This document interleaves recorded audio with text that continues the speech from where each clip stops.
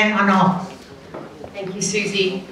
Thank you, Susie. Thank you to LULAC, and thank you to the mothers and the grandmothers. My name is Lillian Riojas, and I am, am your city council member, one of your city council members at large. Um, I want to go ahead and do what Susie said and tell you a little bit about myself. I'm a hometown girl. I was raised in Corpus Christi, went to Smith Elementary, Shannon Junior High, and King High School, graduated went to Baylor University, was the first in my entire family to go to college, graduated, and I did something that not a lot of young, single 22-year-old girls do. I came back to Corpus Christi because simply my mother asked me to.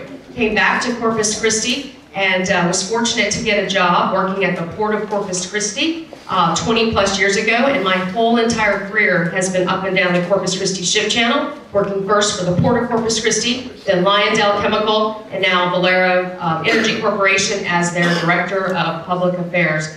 And that business background in industry, I think, really has provided me a great foundation to understand what really drives our local business economy. In those 20 years, I also did a lot of community involvement, served on numerous boards addressing issues that I think were very important to not just me, but to this community. Health, served on the American Diabetes Association Board. Literacy, served on the Corpus Christi Literacy Council. The environment, served on the Coastal Bend Bays Foundation. The list goes on and on and on.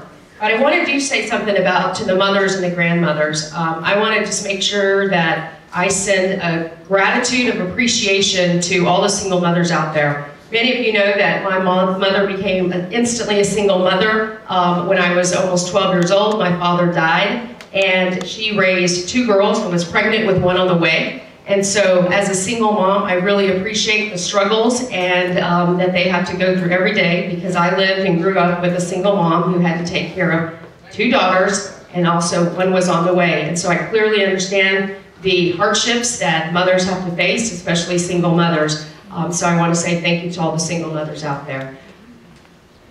My theme in 2012 and again in 2014 was New Path to Progress. And I think that um, I continue that theme because in so many ways we've just started on that path to progress. I think we have listened to what the community has wanted to be addressed, and I'm going to talk about three and four of those things that I think we have listened to. Streets, there have been, I inherited the street issue this term. Remember, this is my first term in office. We inherited the street issue. And so I was part of a decision that said I would no longer kick the can down the road for another two years, another four years, another six years. So we put together a street plan. Uh, yes, it included a street maintenance fee that I think is just a start. It's not a popular start. It's not, I don't think that long-term solution, it's a start of a solution. I think over the next few years, we have to continue to explore and enact other options in order to pay for our streets. The legislative session's coming up. We have aggressively asked for our legislative group to pursue other fundings at the state level that could cover streets. And I think that that's an option that we continue need to,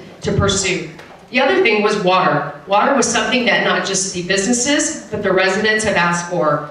All the water source we received was from rain, and many of you know it hasn't rained lately. Well, we've had a little bit of rain, but it's not been, it made a tremendous difference. So we need to, as a community, find diverse, drought-tolerant water supply in order to have water for our residents and for our businesses. Public safety, it's already been mentioned that this year we were able to allocate additional funding through the Crime Control uh, District Fund to help provide 13 more officers for the community of Corpus Christi. I think that that's not enough. I think that there is a plan out there that the chief has that I want to sit down and work on with him on a multi-year phased approach to finding out how we can include and get more officers on the street to enhance public safety. So I think that that's critically important. The final thing I wanted to talk about that I think we listen to people on is about how do we grow our tax base. Ultimately, that is the only way we are going to able to provide for this community is to continue to grow our tax base. $32 billion. Many of us, I think all of us, were at the State of the Port on uh, Thursday. Judy Hawley had a slide up there that showed $32 billion of investment that's coming to this community. That's amazing. And we have an amazing time and opportunity to use those funds and put it back into the things that the community is asking for. I think it's essential to attract new businesses, but many of you know I work for Valero Energy Corporation, and I think you have to continue to keep the businesses that you already have they provide jobs, they provide taxes, and they provide community contributions to numerous, numerous organizations like LULAC, like numerous others that are in the room. So I think those are things that we have just started on, and I think that we need to continue on in the next two years. So I'm asking for community to give me another two years to serve you as your city council member at large. Thank you. Uh, Because uh, that explains what we're going to do, things just a little bit different from at large. I'm going to let them talk about themselves and go back and sit down, and then I'm going to let you direct questions to individual people after they all have finished. How's that? It'll expedite matters. Who's number two on the ballot? Chad, come on over. This will be a test over there in a. Okay, uh, I'm gonna ask, I'm gonna ask one of the city council people to step outside because we don't want to be guilty of having a quorum. Excuse me, actually, yesterday, this issue came up, I talked to the city secretary, and they are posting forums, they're posting broad issues of what we are discussing on the forum, so that we will not have those issues. I asked her, now, I don't know if she managed to get this one posted, I listed this one as one, she didn't get it posted yet? Seventy-two hours. Seventy- So, okay. that's the- Okay, uh, thank you very much, uh, because we wanna, we wanna have people at liberty. You don't have to go, just step outside the room, Sorry. okay? Sorry for that, but I think it's, it's, it's important to do that. That way none of us get into any trouble. Um, my name is Chad Magill. I have the honor of serving you in District Two in your city council. And, um, throughout these last two years, and even before then, I'm serving in many, many boards. I would list them, but, um, they're, they're in this information here. There's some right back on that back table. Um, throughout these several years, I've gotten calls from all over the community and basically people saying, you know, can you help? And um, with respect to my fellow council members, um, I'm always going to step up and ask how, how I can help. I have a bad habit of asking how I can help. And, and, and the- the reality is, working with the people in the community, people reach out to those they feel comfortable with. And in doing so, having taken the stances, and, and, and it says in here, having taken stances on uh, voting no on the public funding of Destination Bayfront and voting no on the creation of a street fee, um, I got even more calls. And I got more calls and more calls, and, and, then- and really, from the request from help, it really became where people said, I wish you were my councilman. And so, that's the reason I'm stepping up from District Two to at large. I'm, I'm answering that request from, from the entire community and from people like you who really just want public servants. They don't want politicians. They want people who work hard for the people. Uh, I'm not in it for the money, obviously. We're, we're paid five hundred dollars a month before taxes, and, uh, it's, it's, it's a labor of love. I enjoy serving the people. Uh, there's three things to remember about me. Number one, I'm all about infrastructure. Number two, efficiency. Number three, job creation. And when you look at each one of those, I can answer questions on those, but when we start talking about infrastructure, about this time last year, we knew we had an over $860 million wastewater issue. We've got 1,287 miles of wastewater collection lines in this city, and 72% of all of those lines are clay pipes. You know what happens to a clay pipe when there's a crack in it? The tree roots, have you ever seen a tree move a building? They're pretty powerful. When a root gets into a wastewater line, what, what is it that we go to the store and buy for plants to grow? It's in those wastewater lines, right? You don't have to say it, but out of respect for everybody. But the reality is, that's what the trees are going for, and, and that's what clogs up a lot of those lines. That's why we have the sanitary sewer overflows. That's why we have a lot of breaks in our lines. So we've got a lot of infrastructure needs, specific infrastructure needs, both from wastewater. Imagine if you look at every street in this town, imagine what it looks like underneath that street. We've got a lot of work to do. And so I took that stance on Destination Bayfront. It's a very difficult one. I love the concept of the park. But the reality is, we've got to spend your tax dollars on our needs and not our wants. It's a, it's an analogy of a family sitting at a dinner table and the kids saying, let's build a pool, let's build a pool. I'd love to have a pool too, but the reality is you gotta fix the foundation in the house and the roof first. You gotta take care of your needs first. So infrastructure, efficiency in government, cutting waste, and creating jobs. Uh, I'll save the time for you and and for your questions. Thank you. My name is Chad Magill and I'm running for city council at large. President County, President Cummings.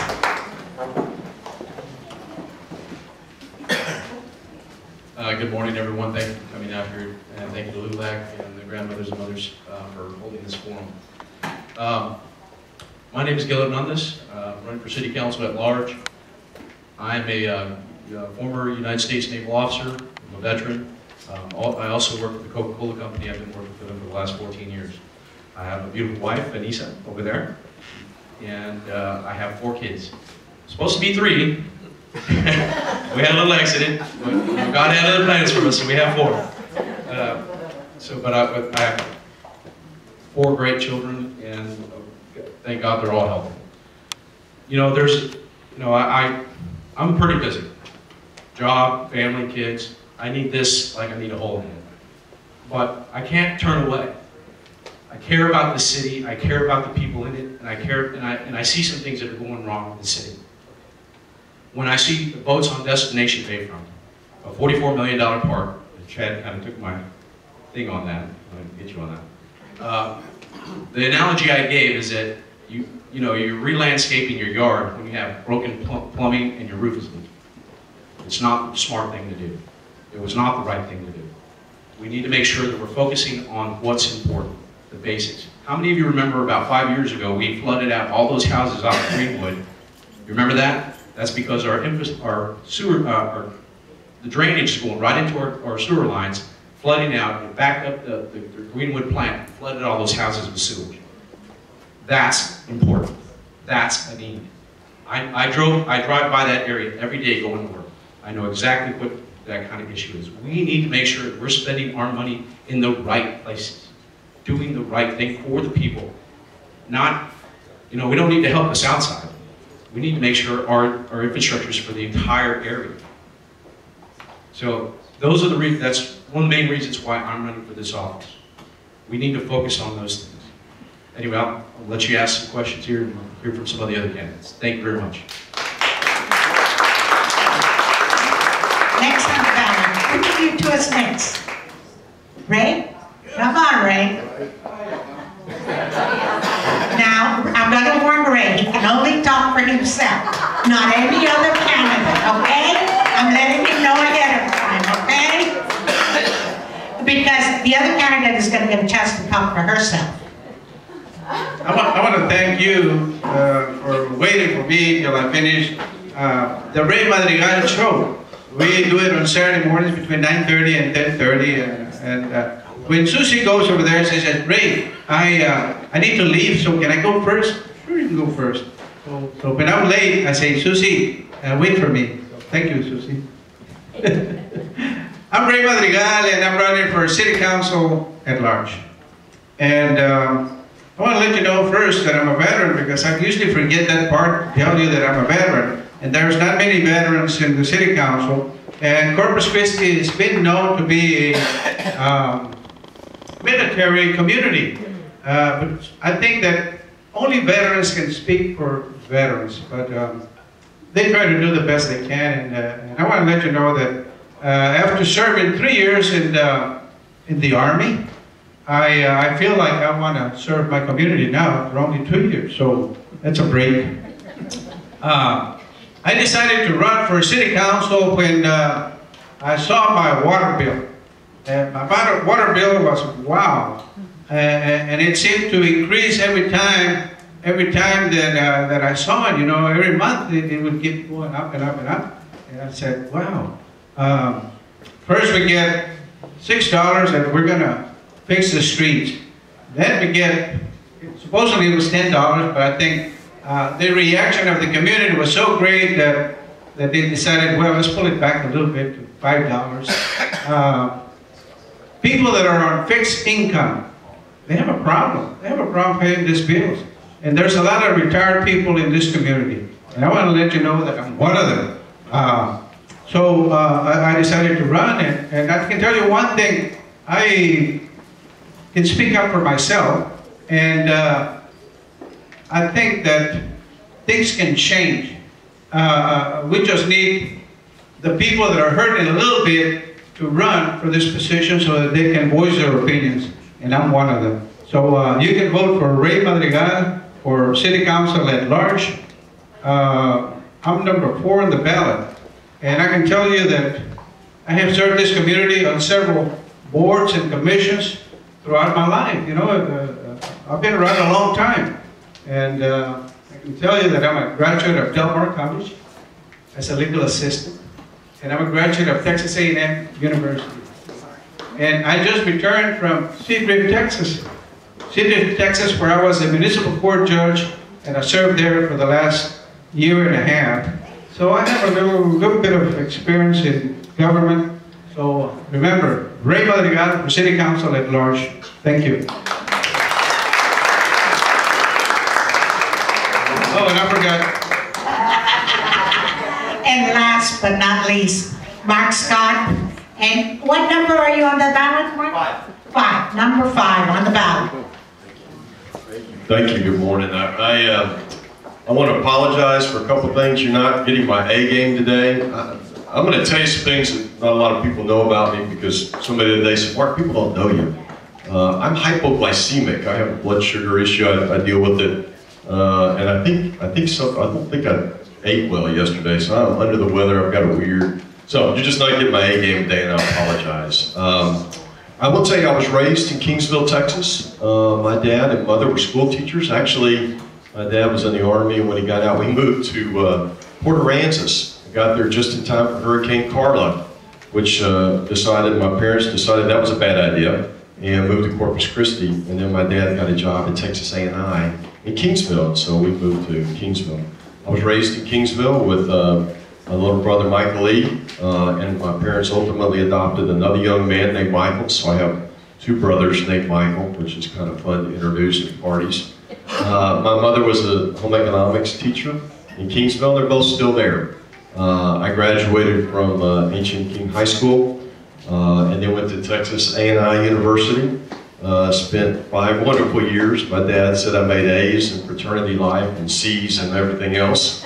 Uh, but I got lucky. I met a beautiful young woman named Carol Alexander, uh, who I think is the reason I'm standing before you today. The story goes, and I saw her and immediately wanted to date her, and my friend said, Mark, she only dates leadership. She only dates people that are eagles. I mean, you got no chance there. And I thought, well, how hard can this be? And so that set me out on the path to try to be successful so I could date Carol Alexander. So I must have been somewhat successful because we got married in 1984, moved to Corpus Christi. Uh, we have two kids, Christopher and Alex. Uh, they're both going to uh, Texas A&M Corpus Christi. Uh, and we have, uh, up until about two weeks ago, we had two dogs and one cat. And then Christopher brought home another dog, which we immediately said we're never going to keep, and we've since named, and he will never be leaving the Scott family. So we have a full household. As I told you, I went to Texas A&M where I got a degree in business. Uh, then I went to Texas A&M, I mean Corpus Christi State University where I got an MBA. Uh, I've been very active in the community for many years. Uh, uh, Bob mentioned that we worked together in an entity called 4UCC, which nobody really remembers, but in the late 80s, we were the largest city in the country without a four-year university. In fact, we were of the 156 cities in the country, we were the only one without a four-year university. And the organization called 4UCC set about getting a four-year university. And I remember the days when the leadership at Corpus said, you will never get a four-year university in Corpus Christi. And, and through that experience, I learned that we can do things if we come together and work together. We can overcome adversity. In the mid-90s, Carol and I decided that the community needed to go through a planning exercise. Uh, Mary Rhodes laughed at us. Uh, I still remember that lunch where she called us the naivete of youth. We started a, a, a program called uh, Vision 2000, which at the time was the largest uh, citizens-based planning organization uh, into effort in the history of Corpus Christi. We were very excited about that. That led to my experience uh, on the city council. Uh, my dad taught me early on that hard work overcomes uh, most obstacles. My first job was cleaning toilets at Stop and Shops in Kingsville, Texas. Remember, that's the precursor of the old of the of the Stripes and the 7-Elevens. Uh, when I joined San Jacinto Title, my current employer, I, I got the lowest job on the totem poles. My, my job was uh, a filmer. That was the lowest entry level position you could get if you went to work for San Jacinto, and I'm I'm excited, I'm proud about that. Now I'm the president of our Coastal Bend region. Again, as I tell people, and I, have said it with Colleen a lot, If there's 100 people in the room, I can assure you I'm not the smartest person. I know it. But what I can tell you is I'm committed to be one of the hardest, hardest working people in the room. I tell my son, or I told my son when he was growing up, that the kid that wants the loose ball in the basketball game gets it. So the question is, who gets the loose ball? And the answer is the kid that wants it the most. And so I'm hopeful that although you may agree on some things that I've done and you may not agree on others, that you at least know that I'm a hard worker. Uh, I've loved my experience on the city council. Uh, uh, I think we've done good work. I think Corpus is better today than it was yesterday. But I'm telling you, I think it'll be better tomorrow than it is today. Uh, the city manager the other day called it a target right environment. There's still plenty of work to do at City Hall. Uh, and I want to kind of give you an example. Um, I was at the uh, Innovation Center the other day talking to, that's the Texas A&M Innovation Center in Flower Bluff, and the guy stopped and said, you need to know that we're all celebrating uh, the FAA designation for a UAS system, the drones. There's only seven in the country. And we're one of them, and people are saying that's going to create thousands of high-paying jobs. And his take was, we're all celebrating the success today, but the city started that years ago. They said we would not have gotten the drones had we not had a mechanical engineering program, an electrical engineering program, and the innovation center, and had the city not invested $600,000 in that application. Well, the city of Corpus Christi invested a million dollars through our 4A board for uh, mechanical engineering. We did a million dollars for electrical engineering, a million four to create the innovation center, and as I told you, 600,000 for that application. So the point I, I wanted to kind of get is that we don't read a lot of that because it just it just happens and it doesn't make the press because there's plenty of other great things to talk about. But I do believe the city is making uh, an effort to improve uh, our community. Then I'll last tell you that I think we're doing things to help Corpus Christians get jobs. Uh, I mean, I think the jobs are coming. In fact, that we laugh about that. Of said, they're coming whether you want it or not. You know, we have jobs coming. The question is, what you should ask of us is, what are we doing to make sure that Corpus Christians get the opportunities that are there? And I will tell you, I think we're doing a lot. I told you about the mechanical, electrical engineering and that effort. We also gave about $750,000 to Del Mar College uh, for the truck driving program. We gave around a million dollars uh, for um, uh, a, a, an application program so Del Mar College students could get jobs in, in the uh, uh, uh, the industrial field. So I think we're making major investments to give Corpus Christians the opportunity. I will close by telling you, if you elect me, I'll do, I'll try to do three things. I'll try. One, I love talking about water. We, we're, we've got $32 billion in development. Much of that is because of decisions your elected officials made 10, 20, 30 years ago on water. And I'm engaged and want to continue to be engaged in making decisions today so that we can grow 20 years from now.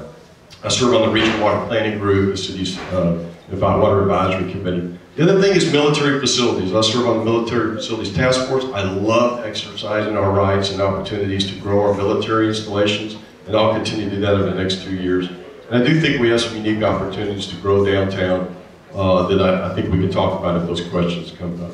I've talked too long, I'm sorry. My name is Mark Scott. I love my experience in City Council. I'd love to work two more years if you give me a contract. Thank you, Mark. Uh, listen, uh, all of you candidates that haven't spoken, don't worry, because this show is going to be divided into segments, so everybody's going to get to be on there.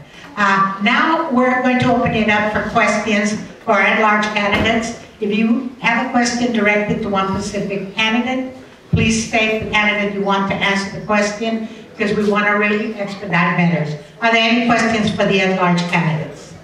Sir. Okay, my first question is, again, we go into Chapman Ranch annexation. Which one of you supports Chapman Ranch annexation? Which one of you doesn't? And I'm gonna, I'm gonna, I'm gonna ask you, rather than getting into a different, a big explanation, let's just say whether you support it or not. Uh, I don't support the annexation. Uh, I'd rather us do the negotiation with the uh, with Chapman Ranch to have some sort of uh, agreement. You know, we don't we don't need to have that kind of animosity, which would lead to a lawsuit. You know, our current city council is suing our firefighters, and it is you know that it, it creates a hostile environment. It creates poor negotiating uh, uh, points So it's better to, to negotiate on a friendly term instead of uh, uh, provoke a lawsuit.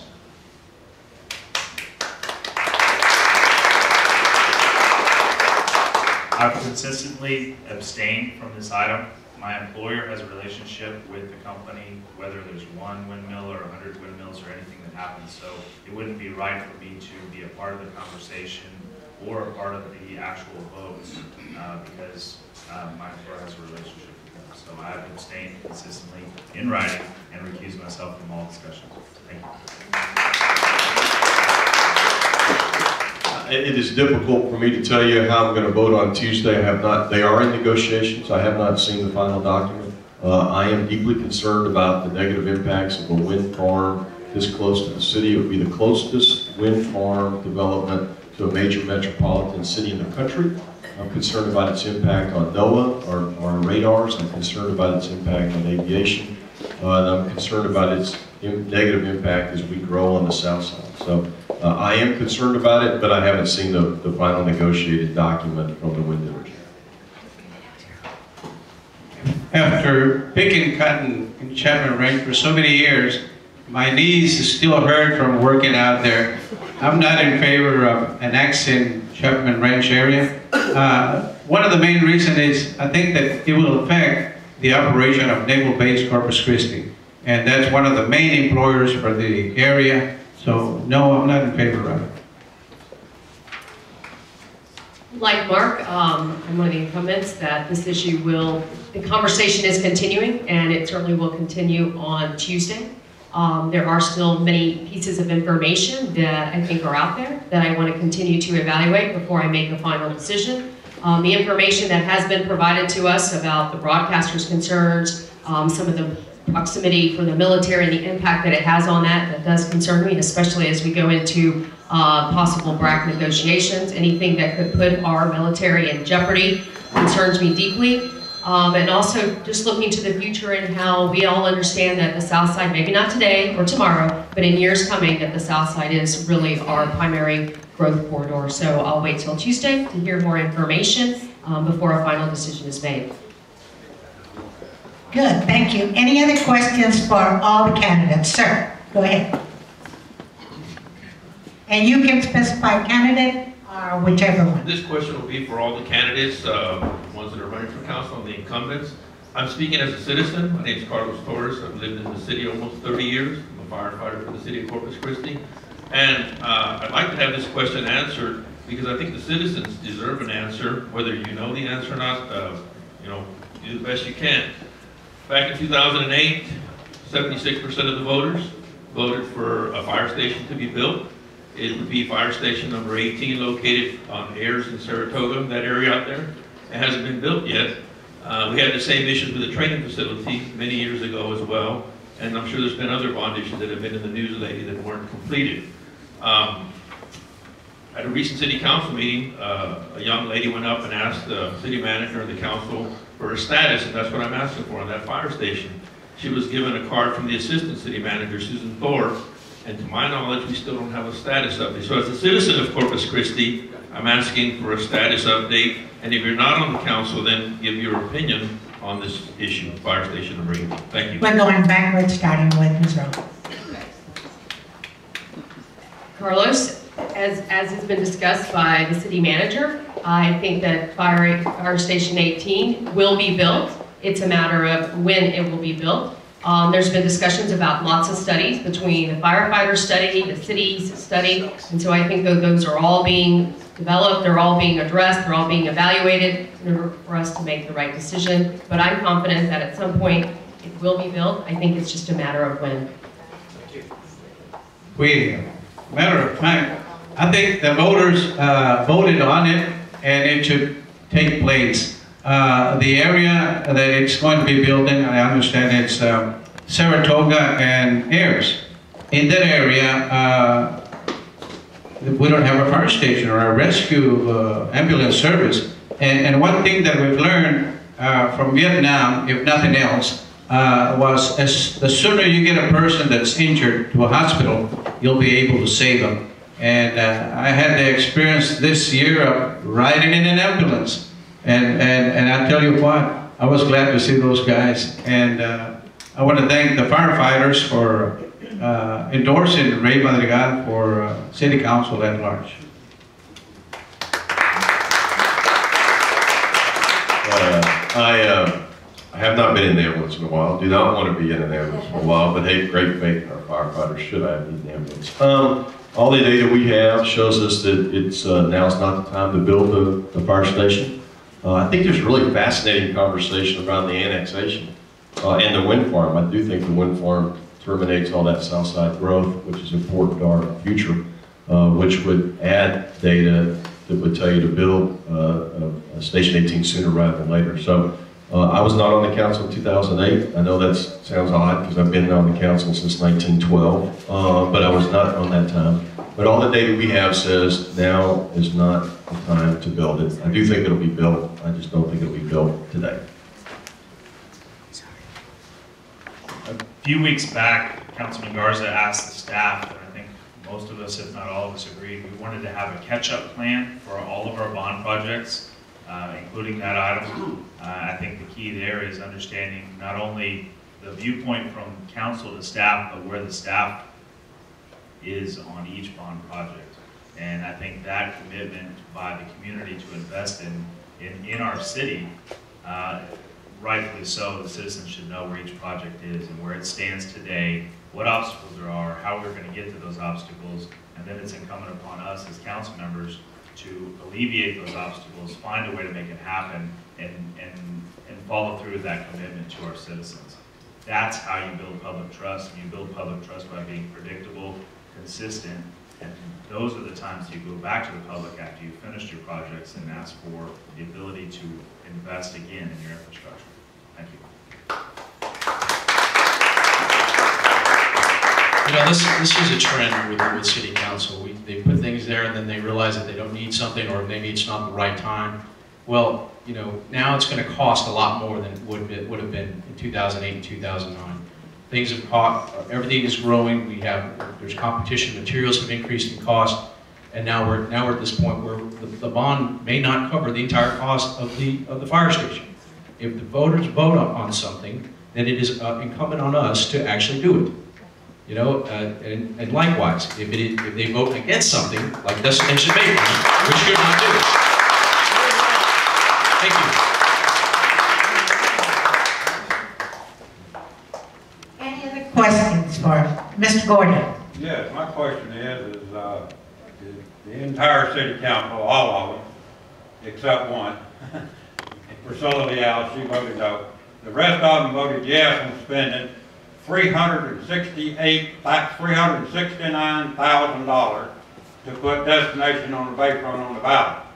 My question is why, when they could have waited to this election and it wouldn't have cost the city taxpayers any money to put it on the ballot this election? But the entire council voted to spend 368,000. My question is why?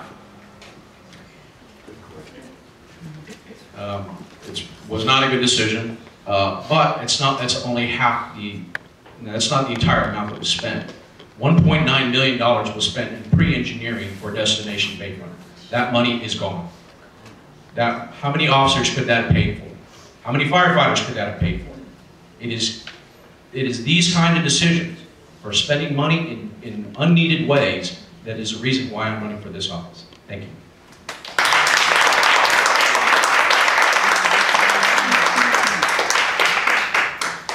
Gil's right, and uh, a lot of the points that came up in this last two-year session um, about Destination Bayfront, there was actually some pre-funding items that came to us in a future agenda item, and we put a stop to that, so it would have actually been more than 1.9 million.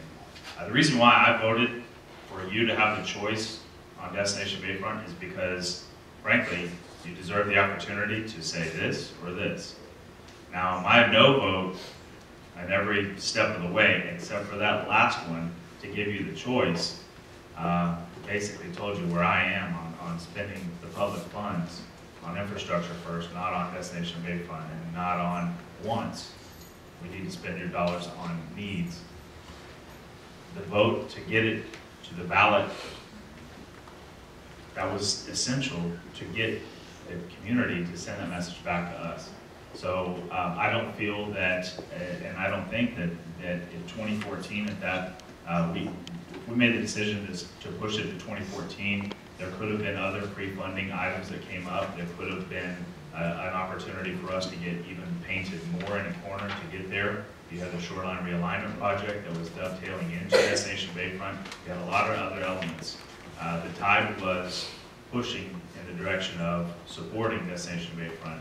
And I felt it necessary to give you the opportunity to send us a message.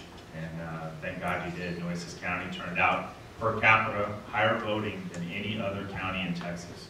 Out of 254 counties in Texas, Nueces County turned up per capita higher than any other in the state. So that message was loud and clear, and I still stand with you. Thank you. Uh, Just a couple of precursor uh, comments. Uh, An election cost a number of ten dollars, and we were having an election. It's just a matter of which pocket they took it out of. And the city said, look, we think we- we need to get this answered. I think that was the right, I thought it was the right time. My point being that if the city hadn't charged it three hundred sixty thousand, the county would have charged it three hundred sixty thousand because we paid the county to offset their costs. So their, their cost of the election went down. Uh, I thought we needed to get a resolution on it. Um, I think it would have just, it would have just been a topic for two years. Uh, I have an interesting take on Destination Bayfront. It goes like this.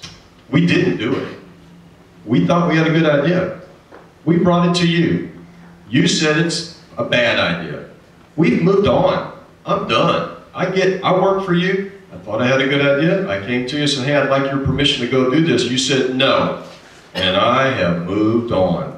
End of story. As a court, as a caller time said the other day, I said, end of story. I moved on. And I talked about some of the things I'd like to focus on in the next two years. You didn't hear the words destination. I'm not even sure you heard the words Bayfront in my original, my earlier comments. So I thought it was the right time to do it. I, I thought just putting it off two years, uh, uh, it would have, uh, it would have just festered the community to come together, give us direction. You clearly did, and I've moved on.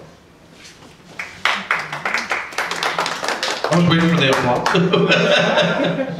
As a veteran, uh, I, I and, and, and many other veterans fought to preserve Memorial Coliseum, which uh, we thought was a, a, a very uh, well-built facility, and it was dedicated to the veterans, and uh, that it should not be torn down. Uh, obviously, uh, we didn't win that one, but uh, like he said, we just have to move on. But sometimes we don't forget. We don't forget that uh, uh, what happened there and who was responsible. So uh, I was not in favor of, uh, of Destination Bayfest. I was asked to participate with it, but after having been involved in Save the Coliseum, uh, I was not about to, to turn around and, and, and work to, to build Destination Bayfest. I don't think it's a bad idea. Uh, I think the timing was wrong. That was, that was the main thing. And people, some people are still mad at it, you know. It's just uh, something that happened and you, you just gotta move on. But every time I go down that road, Ocean Drive, um, you look at that vacant piece of property there and say, wow, you know, something should be built here. I think when people come from out of town, they don't expect such a large piece of property right at, in our front yard that's uh, empty and a bunch of weeds growing up. So uh, uh, it, it was the wrong time. Thanks, Ray. Um, let me make sure people understand, this council, the last two years, only voted, made three votes related to Destination Bayfront. Three votes. One was yes, to give the voters a choice to choose if they wanted it or not. And you said no, and like Mark, we have moved on. The second vote we did was to make sure that there was a mechanism that only the public funds would be accessed if private funds were raised. And the third vote was a vote against accelerating and spending an additional $1.2 million before it got voted in. And so basically, there was a movement to put more money into engineering and design, and this council said no. The only time it would be spent in the event that it was passed. It didn't pass, so that $1.2 million didn't get spent. So the 1.9 million that Gil talks about, that was done before 2012. So I just want the community to clearly understand that this council made three decisions related to Destination Bayfront.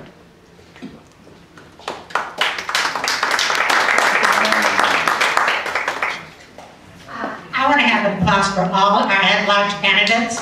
They're going to be here, uh, so we want to make sure we have them. Make sure to talk to them individually. I'm sure they'll stick around for a little bit. And the next is District One. But I'm going to give an opportunity to District Five candidate, since he's not opposed. Where's Rudy? To come over here and give us a few words.